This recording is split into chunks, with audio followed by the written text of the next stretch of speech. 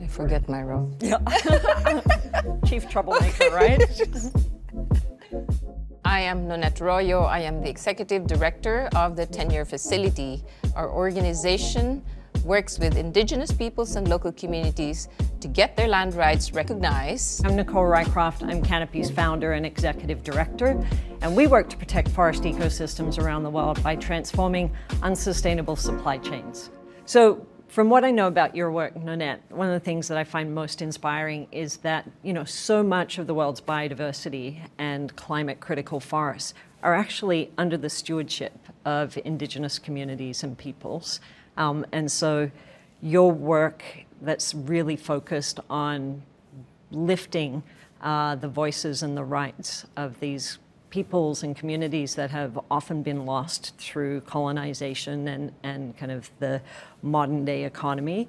It's such powerful and important work for not just those communities, um, but for all of us and for planetary stability. So I find that work very deep um, and super inspiring. Thank you, Nicole. and what really inspires me of your work is I feel very uh, supported.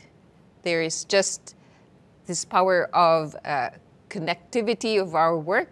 You, because of what you do, are helping protect ancient forests and endangered forests, the very forests that we are protecting with land rights.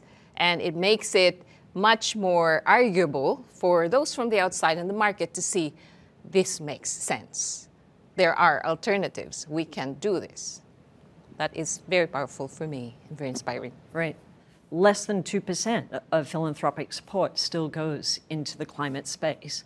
Given that the climate crisis is recognized as like the existential crisis of our generation, alongside of the biodiversity uh, crisis, I would say, it's astounding that we don't have more money, uh, more yeah. philanthropic money moving into the climate space. Mm-hmm. Uh, so I, I, would say, you know, that we need still larger amounts of philanthropy within the climate space. We need it over kind of longer periods of time, multi-year support, um, as well as allowing for dexterity because you know we need to be nimble and, mm-hmm. and agile and pivoting as we navigate these new paths forward. Yes, and it is really that space. It's opening uh, the opportunity for people who th- we think uh, do not have anything to actually shine and say, actually, we have land, we have practices. Right. We have traditional knowledge. We have innovation, and that can be funded too.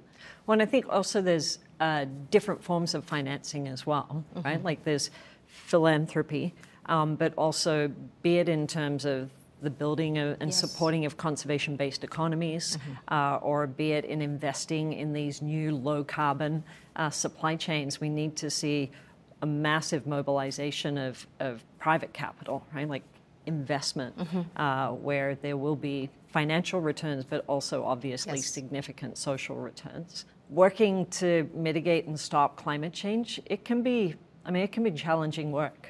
Um, and it can be disheartening at times. Uh, and the audacious community, the TED community, um, you know, be it the other uh, audacious recipients as well as the broader uh, audacious and TED community, it's it's like a safe harbor um, you can come in with really kind of bold aspirational ideas and uh, you're not dismissed. Uh, you're not kind of like, there's no trying to talk you down off the ledge. Mm-hmm. Uh, in fact, people are coming up uh, mm-hmm. to meet you and support you. How can that be financed? Mm-hmm. How could we kind of co create and kind of move that perhaps even to another level? Uh, and I think that generosity and spirit um, is incredibly important for all of us that are that are working in this space. Yes, exactly. And there's abundance, and we don't have to keep destroying. Go figure, we're smarter than cutting down 400 year old trees to make pizza boxes and t shirts. Exactly. Yeah. Yeah.